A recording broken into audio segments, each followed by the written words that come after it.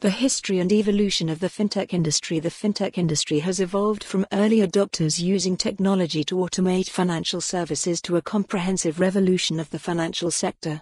Overview Own this piece of history Collect this article as an financial technology, fintech, industry has its roots in the late 20th century, with the advent of electronic banking and online stock trading.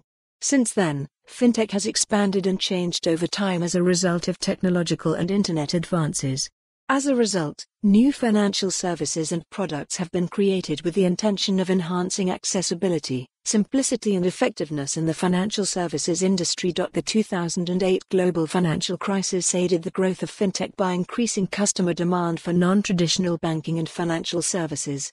By enabling customers to access financial services from any location at any time, the rise of mobile devices and the widespread usage of smartphones have also fueled the growth of the fintech industry. Today, fintech continues to shape the financial industry and is driving innovation in areas such as payments, lending, investing, and insurance. The evolution of the fintech industry The fintech industry as we know it today did not exist before the late 1990s and early 2000s. Nonetheless, fintech's origins can be traced back to the advent of computer systems and the growth of electronic banking in the financial services industry in the 1970s and 1980s.